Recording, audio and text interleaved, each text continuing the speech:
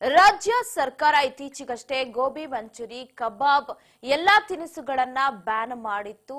ಇದೀಗ ಕೃತಕ ಬಣ್ಣವನ್ನ ಬ್ಯಾನ್ ಮಾಡಿತ್ತು. ಇನ್ನು ಗೋಬಿ, ಮಂಚೂರಿ, ಕಬಾಬ್ಗೆ ಬಳಸುವ ಪದಾರ್ಥಗಳಲ್ಲಿ ಕ್ಯಾನ್ಸರ್ ಕಾರಕ ಅಂಶಗಳು ಕೂಡ ಪತ್ತೆಯಾಗಿತ್ತು. ಈ ಹಿನ್ನೆಲೆ ಸರ್ಕಾರ ಈ ಕ್ರಮವನ್ನ ಕೈಗೊಂಡಿದೆ. ಇದೀಗ ಪಾನಿಪುರಿಯಲ್ಲೂ ಕ್ಯಾನ್ಸರ್ ಕಾರಕ ಅಂಶ ಪತ್ತೆಯಾಗಿದ್ದು, ಈ ಕುರಿತ ಕಂಪ್ಲೀಟ್ ಡೀಟೇಲ್ಸ್ ಇಲ್ಲದ ನೋಡಿ.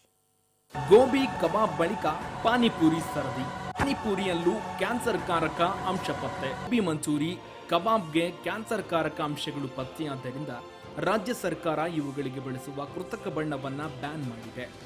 ಇದೀಗ ಆಹಾರ ಸುರಕ್ಷತೆ ಮತ್ತು ಗುಣಮಟ್ಟದ ಇಲಾಖೆ ಪಾನಿಪುರಿ ಪ್ರಿಯರಿಗೂ ಶಾಕ್ ನೀಡಲು ಮುಂದಾಗಿದೆ. ಸದ್ಯ ಗೋಬಿ, ಕಬಾಬ್ ಬಳಿಕ ಈಗ ಪಾನಿಪುರಿಗೆ ಬಳಸುವ ಸಾಸ್, ಮೀಟಾಕಾರದ ಪುಡಿ ಸೇರಿದಂತೆ ಐದು ಬಗೆಯ ಪದಾರ್ಥಗಳಲ್ಲಿ ಕ್ಯಾನ್ಸರ್ ಕಾರಕ ಅಂಶ ಇರುವುದು ಪತ್ತೆಯಾಗಿದೆ.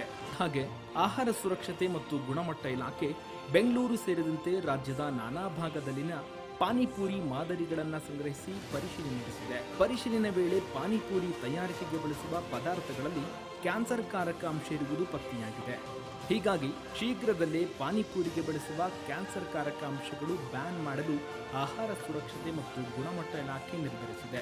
ಇಮಿಡಿಯೇಟ್ ಆಗಿ ಹೇಳ್ಬೇಕಂದ್ರೆ ಅದು ಖಾರ ಜಾಸ್ತಿ ತಿಂದರೆ ಒಂದು ಅಸಿಡಿಟಿ ಜಾಸ್ತಿಯಾಗಿ ಎದೆಯಲ್ಲಿ ಉರಿ ಬರುತ್ತೆ. ಕೆಲವರಿಗೆ ಹೊಟ್ಟೆ ನೋವು ಕೆಟ್ಟು ಲೂಸ್ ಮೋಷನ್ ಆಗಿರೋದು ಧೈರ್ಯ ಇನ್ನು ನೆಕ್ಸ್ಟು ಅದು ಹಂಗೆ ಬಿಟ್ಟರೆ ಅದು ರೆಗ್ಯುಲರ್ ಆಗಿ ಆ, ಖಾರ ತಿಂತಾ ಇದ್ರೆ ಒಂದು ದಿನ, ಎರಡು ದಿನ ಪರವಾಗಿಲ್ಲ. ರೆಗ್ಯುಲರ್ ಆಗಿ ನೀವು ಅದನ್ನು ತಿಂತಾ ಇದ್ರೆ ಗ್ಯಾಸ್ಟ್ರೋಎಂಟಡಿಸಿಸ್ ಆಗುವಂಥ ಚಾನ್ಸ್ ಇದೆ ಮತ್ತು ಹೊಟ್ಟೆ ಕೆಡುವಂಥ ಚಾನ್ಸ್ ಇದೆ.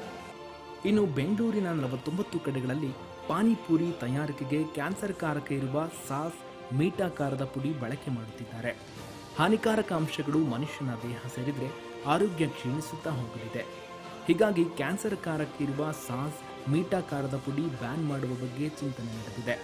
ಈ ಬಗ್ಗೆ ಆಹಾರ ಸುರಕ್ಷತೆ ಮತ್ತು ಗುಣಮಟ್ಟ ಇಲಾಖೆ ಕೂಡ ಮಾಹಿತಿ ನೀಡಿದ್ದು, ಪಾನಿಪುರಿ ಬಗ್ಗೆ ಸಾಕಷ್ಟು ದೂರು ಬಂದ ಬಳಿಕ ಆರೋಗ್ಯ ಇಲಾಖೆ ರಾಜ್ಯದ ವಿವಿಧ ಭಾಗಗಳಿಂದ ಎರಡುನೂರ ನಲವತ್ಮೂರು ಮಾದರಿಗಳನ್ನು ಸಂಗ್ರಹಿಸಲಾಗಿದೆ.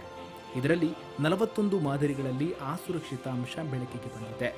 ಹದಿನೆಂಟು ಮಾದರಿಗಳು ಕಳಪೆ ಗುಣಮಟ್ಟದಿಂದ ಕೂಡಿವೆ ಪಾನಿಪುರಿಯಲ್ಲಿ ನಾಲ್ಕರಿಂದ ಐದು ರಾಸಾಯನಿಕಗಳನ್ನು ಬಳಸಿರುವುದು ಪರಿಶೀಲನೆ ವೇಳೆ ತಿಳಿದು ಬಂದಿದೆ. ಈ ನಿಟ್ಟಿನಲ್ಲಿ ಸಚಿವರು ಮತ್ತು ಇಲಾಖೆಯ ಪ್ರಧಾನ ಕಾರ್ಯದರ್ಶಿಗಳೊಂದಿಗೆ ಚರ್ಚಿಸಿ ತೀರ್ಮಾನ ಕೈಗೊಳ್ಳಲಾಗುತ್ತದೆ ಎಂದು ತಿಳಿಸಿದ್ದಾರೆ. ಇದಲ್ಲದೆ ನಾಲ್ಕರಿಂದ ಐದು ಮಾದರಿಗಳ ಫಲಿತಾಂಶ ಬರಬೇಕಿದೆ. ಅವು ಬಂದ ಬಳಿಕ ಸಭೆ ನಡೆಸಿ ಪಾನಿಪುರಿಗೆ ಬಳಸುವ ರಾಸಾಯನಿಕಗಳನ್ನು ಬ್ಯಾನ್ ಮಾಡುವ ಸಾಧ್ಯತೆ ಇದೆ. ನಲ್ಲಿ ಪಾನಿಪುರಿಯಲ್ಲಿ ಬಳಸುವ ಖಾರ ಹಾಗೂ ಮೀಟಾದಲ್ಲಿ ರಾಸಾಯನಿಕಗಳು ಪತ್ತೆಯಾಗಿವೆ.